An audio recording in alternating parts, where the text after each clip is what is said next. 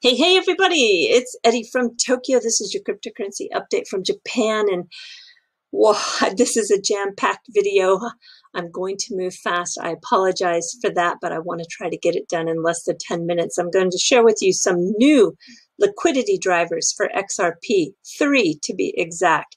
Also, the pre-IPO Ripple share price, oh, it's strong. And Brad Garlinghouse, he continues to be heard. And Coinbase, there's a trading date. And I must show you an institutional custody provider how much money they have to run with and who is backing them. Well, the market Bitcoin really wants to stay over 60,000. It has been playing with that price for the last couple of hours. It just backed off slightly now. We see a 59% dominance, which means there is a lot of other volume flowing into the altcoins. Uh, just a few are taking profit, and those are to be expected because they had some extremely strong days. All right, liquidity drivers. Yeah, we get that liquidity improvement when you have pairs to fiat.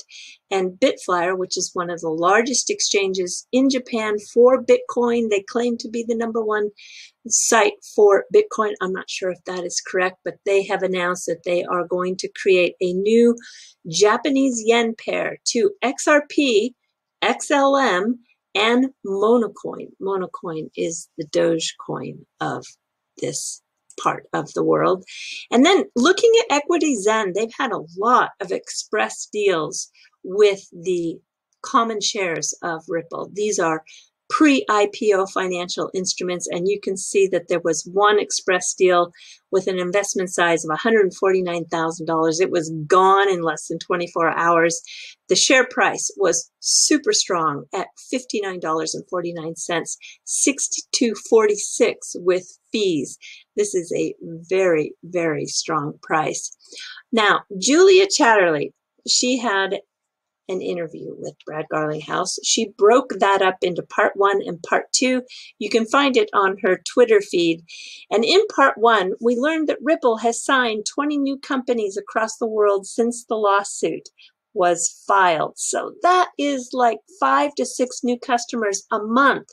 Very good. And then we have one of the older on-demand liquidity customers that is going to move into a new corridor.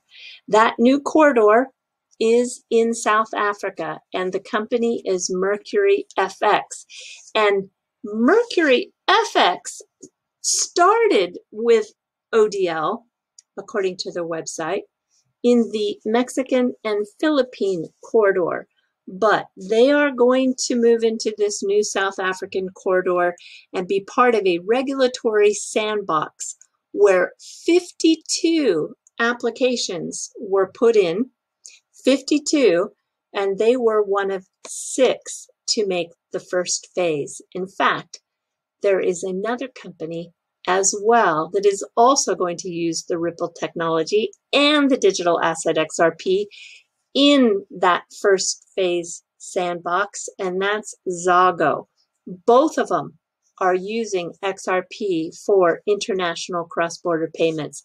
So thanks to VALR, which will be another driver to improve liquidity for XRP, they partnered with Bittrex and they will be able to make that ODL happen from South Africa. Now, in that part two interview that Julia had with Brad, I really want to play for you just this portion where he was asked about Bitcoin. Brad, very quickly, exactly. I know you are a Bitcoin investor. Do you think Bitcoin's too big to fail? I think Bitcoin is not going away. That is for sure. I think Bitcoin is not going away. That is for sure. I totally, completely agree with him. And the reason why I believe that is because there is just too much money being committed into the infrastructure right now. I'm just going to show you just a couple that have my attention. So Coinbase, yep, we have a trading date They are going to be listed on the NASDAQ and appear, I think, if everything goes as it should, on April 14th under the ticker symbol COIN. Now, the Coinbase co founder, he joined the institutional grade custody company called Fireblock. And Fireblock received $30 million in funding. That was a good size amount.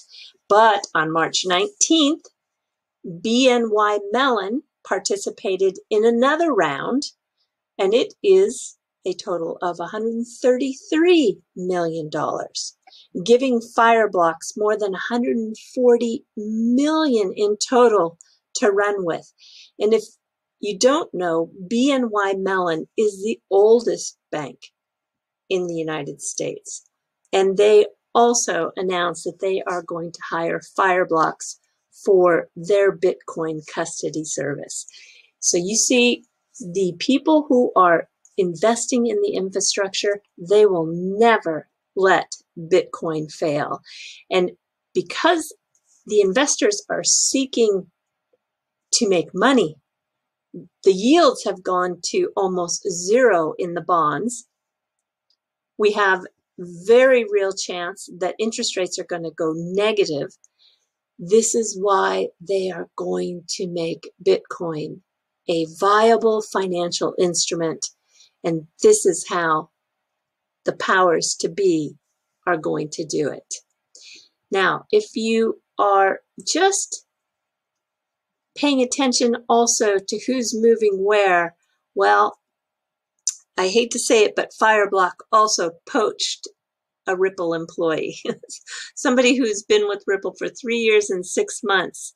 This is Neil Chopra. And in February, he decided he was going to join the Fireblocks. So take, take notice and uh, pay attention to that institutional custody service provider. And now someone asked me, and I'm just going to wrap it up here with a comment because and, and some information that I should have probably included in the last video. Someone said, why all of a sudden the interest in XDC? Well, actually for years, I have been covering whatever impacts this space with a special emphasis on XRP, yes. And I did so quite frankly because there is just too much mistruth being spread. And that was quite frustrating for for myself to see all of the FUD that was just not deserving of the company Ripple or the digital asset XRP. But I'm a maxi for projects that have community, liquidity, and a purpose. And when I saw the announcement that XDC will be the settlement coin for R3, it was huge. And I became interested in this project more than six months ago when I had the CEO Atul on my channel. And it really, really started to get on my radar screen when I saw that R3 had listed the XinFin as their tech partner. So I am so interested in anything that is making a difference in this space. And sitting at the table there is Richard Crook he was with the Royal Bank of Scotland. And he actually did a Ripple POC, but it didn't continue because they needed to have privacy. So he moved to work with Corda. And Corda actually had him working in their office and he went on to build DASL, D-A-S-L, which is the bridge for the settlement token XDC. So XinFin is the organization behind XDC, and they can do this for Corda with no gas fees because they do it with a swap. So if you want to listen to Richard speak here, you can find this on the R3 website in their podcast.